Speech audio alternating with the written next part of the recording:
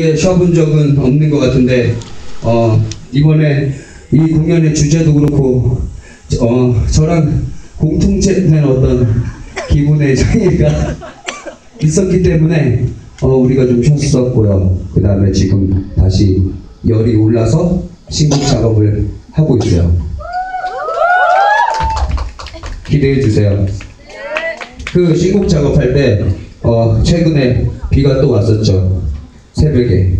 그래서 가사를 어, 제가 쓰진 않지만 어떤 이번에 선아가 저번 앨범부터 뭐 아시는 분들 알겠지만 아 하지마 어, 선아가 가사를 쓰는데 어, 제가 어떤 팁을 주기 위해서 저가 제가 곡, 만들었던 곡을 들으면서 새벽에 한가를 그렇게 걸어갔어요. 이렇게 새벽에 비가 오면서 또 어, 이거 이거 되게 괜찮다.